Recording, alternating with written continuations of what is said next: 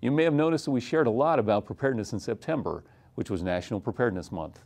You can practice what you learned with your friends and neighbors on October 19th at 1019 as part of the Great Oregon Shakeout event. Join us as we duck, cover, and hold in what has become the largest public preparedness exercise in the United States.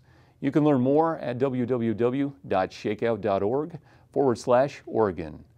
Want to learn more to prepare your family to get more involved? Just visit our website to join an upcoming Community Emergency Response Team, or CERT, training opportunity.